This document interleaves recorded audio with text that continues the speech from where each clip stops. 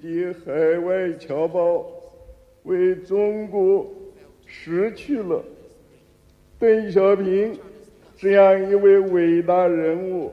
部队驻地亲自调查了解有关情况，夜以继日的工作。江泽民、胡锦涛和其他军委领导同志一起，亲自要本着实事求是、尊重科学的精神，认真总结、吸取教训，切实改进工作，努力把军队现代化建设搞得更好。